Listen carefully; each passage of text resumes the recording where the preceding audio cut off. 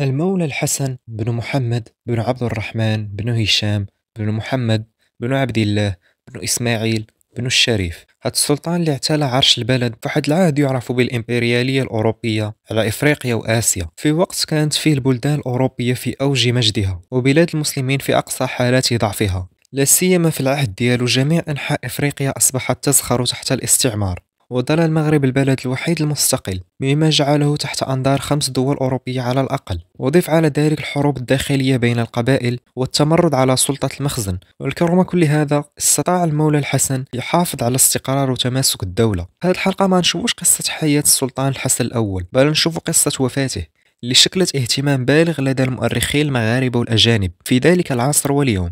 حيث هذا الحدث غيكون ليه ما يعرف بتأثير الفراشة على المغرب والسبب فيما نعيشه اليوم. بعد الفاصل نشوف شنو وقع.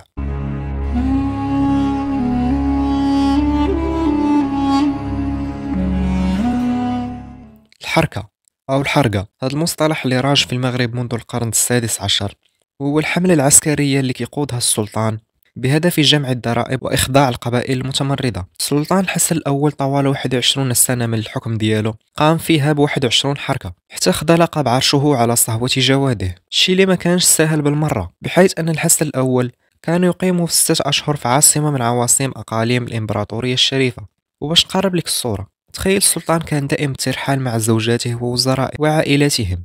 وزد عليه الخدم والعبيد وبلا ننساو قرابة عشرة آلاف جندي. شحال كتصور ديال المؤن والسلاح والعتاد والخيام باش توفر الملاذ والحماية لهذا الجمع الغفير من الناس؟ لا سيما أن السلطان يقيم مدة في منطقة شديدة الحرارة ومن بعدها يمشي لمنطقة شديدة البرودة. كل شيء هادشي خاص يتم دراسته بعناية قبل انطلاق الموكب السلطاني في الحملة وهادشي كيوقع على عاتق واحد الوزير كيتسمى بالعلاف الكبير اللي أصلا اسم على مسمى واخا تشوفو كيضحك ولكن كان لقب رسمي في السلطنة المغربية. يطلق على الوزير المكلف برواتب الجيش وتزويدهم بالعتاد والمؤن. بحال المخطط ديال الحفلات اليوم. تاك تعطيه غير رقم الناس اللي تحضر. هو كيتكلف لك بالثمن وحجم الطعام واللوازم. وسبق اللي تحدثت عليه في حلقة مكونات السلطنة الشريفة اللي تقدر ترجع ليها الا بغيتي تكتشف العديد من المعلومات.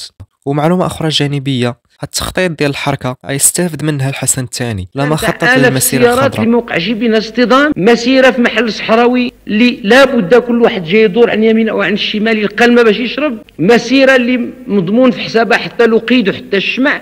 حيث قام بإرسال جموع غفيرة من الناس وواحدة من أكبر المسيرات في العالم. وما يجعلها فريدة من نوعها أنه أرسل 350 ألف ديال السكان ذهبت لمنطقة خلاء غير صالحة للحياة. وسيتم توفير لهم كل سبل الراحة دون أن يقع حادث إصابة أو وفاة أو وباء. المهم نكمل لك. اشتد المرض على السلطان وعلى فراش الموت كان شاغل جوج حوايج. الأول هو مستقبل البلاد اللي كيعصف عليها رياح الاستعمار وكتزاد حدتها مع كل بعثة تزور المغرب. والشيء الثاني هو ابنه الصغير اللي كان محبوب عنده كيخاف عليه. كونه كان أصغر أبنائه وهو عارف من يتوفى يخليه المصير مجهول. كيف ما قلت لك في الحلقات السابقة أن نظام السلطنة في المغرب كان يرفع درجة السلطان وحده ويهمل البقية. وبما أن المولى عبد العزيز مجرد أمير وليس مقدرا له أن يكون سلطان فيستغل بوحمد الفرصة ويقترح على السلطان علاش ما تكتبش وصية تعين فيها مولاي عبد العزيز وريثا على عرش. هكذا تضمن ليه مستقبل آمن وداكشي اللي دار السلطان رغم أن السلطان عنده بالفعل وريث للعرش. هو مولاي محمد اللي كان أكبر أبنائه وأكثر خبرة وحكمة واستحقاقا للعرش. ولكن هذا الشيء تم بسرية كاملة من قبل الحاجب. ولحد ديك الساعة السلطان والحاجب وحدهم اللي في رأسهم المخطط.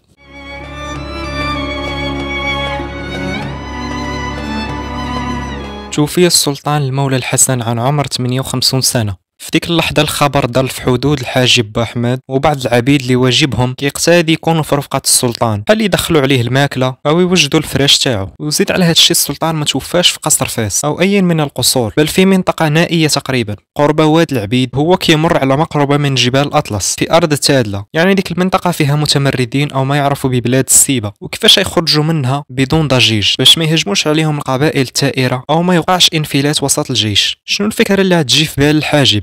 يطلق خبر عن طريق مدير التشريفات اللي كان حتى هو عارف لكونه الناطق الرسمي باسم السلطان ويعلن أن السلطان يحس بالإعياء فما غيقدرش يخرج عندهم وسيتباحث مع المستشارين بالخصوص المواضيع الراهنة في الخيمة. كما جرت العادة دائما. وأحضر الحاجب الوثائق اللي خاصها توقع ودخلها للخيمة السلطانية. من بعد مدة خرج عند الحاضرين بالإجابات موقعة بالخاتم السلطاني وأمر مدير التشريفات أنه لازم يتم حمله على فوق عربة. وصدحت الأبواق والحرس يرددون الله يطول في عمر سيدي. وبدأ الموكب في التشكل وما كانوا كيتوقفوا غير لأجل تناول وجبة الغداء. وكان يتم إدخال الصينية إلى خيمة السلطان غير من قبل العبيد المكلفين بهذا البروتوكول. ومن بعد كيخرج مدير التشريفات أن السلطان كلا وجبة الغداء كياخذ قسط من الراحة ويأمر بتحرك الموكب. وهذا الشيء أصبح بشكل متسارع عكس ما كان في السابق. كانت فترات الراحة أطول ويسيرون ببطء لكن هذه المرة أصبحوا يسيرون بشكل أسرع. حيث مازالين في بلاد السيبة اذا في بلاصه ما كانوا كيسيروا 50 كيلومتر في النهار حتى ل 70 أصبحوا يسيرون 100 كيلومتر في النهار. بل وحتى الحاجب قام بإرسال مجموعة من الفرسان المسرعه إلى الرباط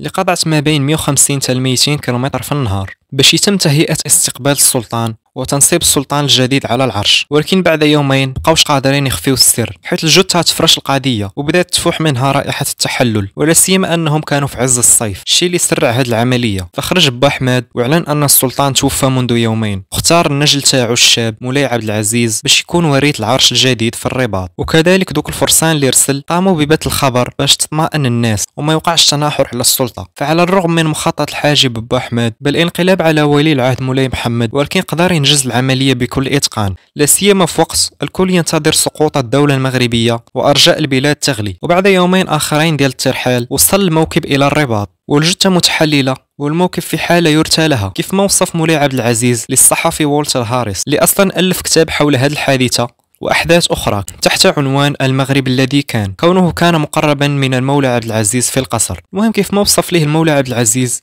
أنه احتل بغير ما قدرش تستحمل الرائحة. بعد ما استغرقت الرحلة خمس أيام في حر شهر يونيو. ومازال ما كملت مهمة وصول الجثة حيث حسب التقاليد المغربية ممنوع بشكل قطعي مرور جثة عبر باب من أبواب مدينة مغربية. والكل سواسية في هذا الموضوع. ولو كانت جثة السلطان لما كانش استثناء. والحل لقاو قاموا بحفر ثقب في سور المدينة. وقاموا بتمرير الجثة عبره. ودخلوا للقصر تحت تحية وهتافات السكان المدينة.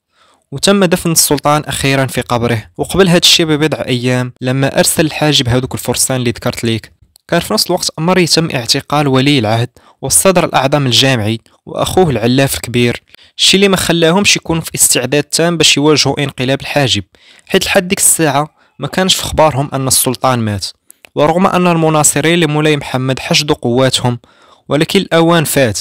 وما حشتوش ما يكفي وجرى محاصرتهم قبل ما يوصلوا لبقية المناصرين. وهذا الشيء نخليه في حلقة خاصة في سلسلة الحروب الأهلية المغربية حول صراع أبناء الحسن الأول اللي كانت نزاع بين خمس أمراء واحد منهم اعتقل وآخر كاد يصبح السلطان ونجح في ذلك تقريبا. وتعتبر هذه آخر حرب أهلية قامت في المغرب.